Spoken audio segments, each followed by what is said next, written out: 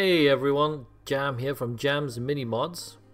And in today's video I'm going to be showing you how to make simple but amazing looking fur. Now it is simple but it is quite time consuming. If you want something a lot quicker, go check out my video on the Green Stuff World Fur texture plate, I'll link that up now. That's a much quicker process if you want to smash out an entire army with fur.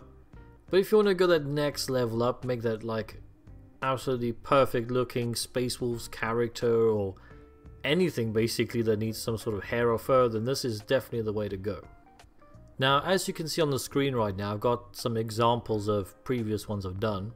Now, with this technique, you can kind of do a lot of different types of fur. If you want to maybe represent like bear fur, you can do like really thick chunks of green stuff. If you want to do like horse or something like that, you do thinner bits. And like for example, with this guy I've got on the screen now, the fur is kind of like, looks like it's blowing in the wind a bit more. So I've raised the tips up into the air. Like I said, so it looks like it's ruffling through the breeze and stuff like that. But the example I'm going to show you today is more of a kind of more generic and it fits pretty much everything like wolf fur, all that kind of stuff. So let's just get on it. Let's make this a nice quick and simple video for you guys. Now one of the first things you have to do obviously is have something to build your fur off of. Now if you're doing like a space marine captain that's got a cape or something, you want the cape to have fur on it, then you already have something to build off or if you're doing a shoulder pad or something like that. But if you want to do a loincloth or something like this, you're going to have to make it yourself. Now you can do green stuff, milliput, or like I've used here, I've used a mix of both together. I won't be showing you guys how to do that in this video, this is purely about fur.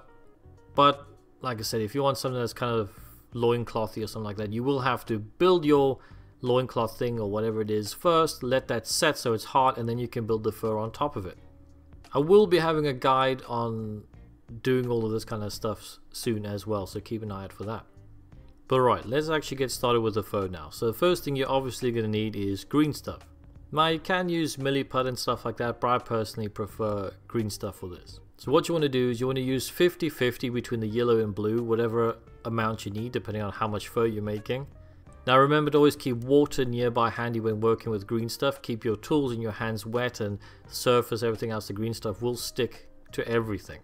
And with this particular style of green stuff where the two colors are touching, I usually cut out the middle because that sometimes can cure and become hard and when you're working with it you end up getting these like really hard lumps.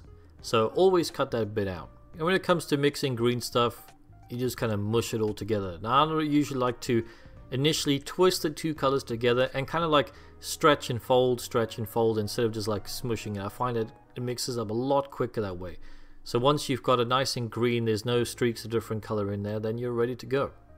Now because we're going to be putting pretty much individual strands down, I like to roll my green stuff out to quite a thin bit just so it makes it easier to cut little pieces off.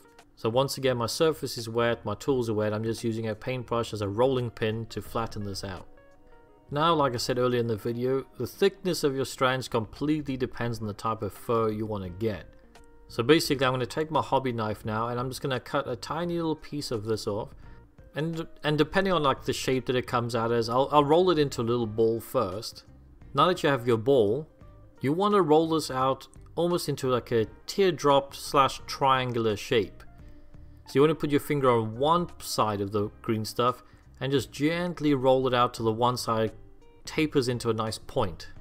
Now the sharper you make this point, I personally think the more realistic the fur looks. I think the way this one ended up turning out, I didn't make each strand quite sharp enough. But yeah, that's just something to keep in mind when you're doing this kind of stuff. Once again, depends depends on the kind of fur you're trying to portray. Now you want to start sticking the green stuff onto your cape or whatever it is. In my case, it's this loincloth that I've made. And you always want to start from the bottom and work your way to the top, so the fur is always kind of folded on top of itself, if that makes any sense. Now as for tools to use, I've recently bought color shapers, so that these little silicon like pointy tool things, they're really really amazing for doing this job. But because I know a lot of you don't want to go out and buy new tools or something, I'm just going to use a damp toothpick. It works just as good to move your uh, green stuff around. So yeah, I'll use my damp toothpick to pick up these strands of hair and place them on the loincloth where I want them to go. And once they're in place, I press down the fat end there so it kind of squishes it into the place so it kind of sticks a bit more firmly. Now your fur will probably look fine if you just layer up all these little triangular sausage things, but I prefer to put in a little bit more texture. So what I do is I grab my hobby knife, it's going to have to be something quite sharp like a scalpel that I'm using here. And depending on the thickness of your strands of hair, I like to push in at least two little lines of detail into each strand, sometimes one. Like so you just use your hobby knife and just poke a nice little line in there, like dab it in there. You want it to be kind of deep because you got to think when you're painting you're going to have washes and all that stuff going in there so that detail pops a little bit more. It helps these individual strands look like they've broken up into more strands of hair instead of just looking kind of more like tentacles or bananas. Now, when making fur like this, you also want to remember what's the direction that your model's going in. Because you want your fur to kind of go all in that direction. Either it's just going flat, like this model here, it's, it's mostly just going downwards with a hint of going off to the left. Or right, depending on which angle you're looking at the model, I guess. But obviously you don't want every single hair strand to be going the exact same direction because then it doesn't really look quite natural. You want slight variance in each strand I mean, don't want it to look too crazy, but you know, make it look a bit more ruffled up. You know, they they're in a battlefield. There's they're running around. There's wind blowing, all that kind of stuff. Now, like that example I showed at the beginning of the video, if you got, want your fur on your guy to be much more windswept, then you want to lift the tips of the fur upwards so it looks like it's blowing. But now because the guy I'm working on here is stationary, not really moving much, I'm flattening the fur down a lot more. I'm just pushing it down so all like the tips are kind of touching the bit of fur at the bottom of it if that makes any sense as well. And another little tip here, like I said before, you want to work from the bottom to the top. That's You always want to work from the bottom to the top. But once again, depending on the direction that your fur is blowing in, you might want to work up one side first for like a left or a right. Now, like I said before, this guy is going slightly to the left. So I built up the bottom of the fur and then I worked up all the way up the left hand side first because I want the fur overlapping on the left hand side. So I'll be building the fur up basically from the left to the right, but also bottom to top. Like I always say, I'm not very good at describing things like this, but hopefully watching the video you'll actually be able to see what I'm doing. And to be honest, that's pretty much it. So just a quick recap, you want 50-50 on the green stuff between the two colors, nothing fancy there. Always work from the bottom to the top when it comes to stacking the fur up. Use your hobby knife or scalpel, something sharp to push in extra detail into there once again so it looks like more strands of hair instead of just tentacles or bananas. Keep in mind what flow you want, where's the direction of the fur going, is it down, left, right, all that kind of stuff. Is it how windy is the battlefield, all that kind of stuff. It all tells a story.